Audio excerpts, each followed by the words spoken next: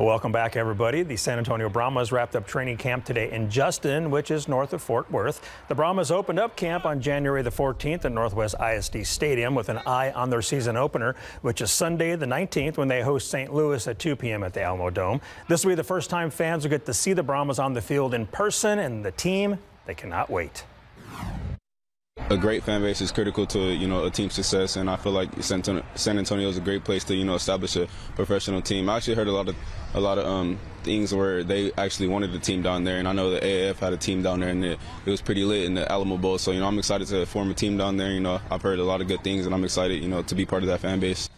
The team will host a Meet the Brahmas tomorrow from 5 to 7 p.m. at Alamo Beer Company. Coach Ward and select players will be on hand. The event is open to the public. Need to be part of the bullpen. We do.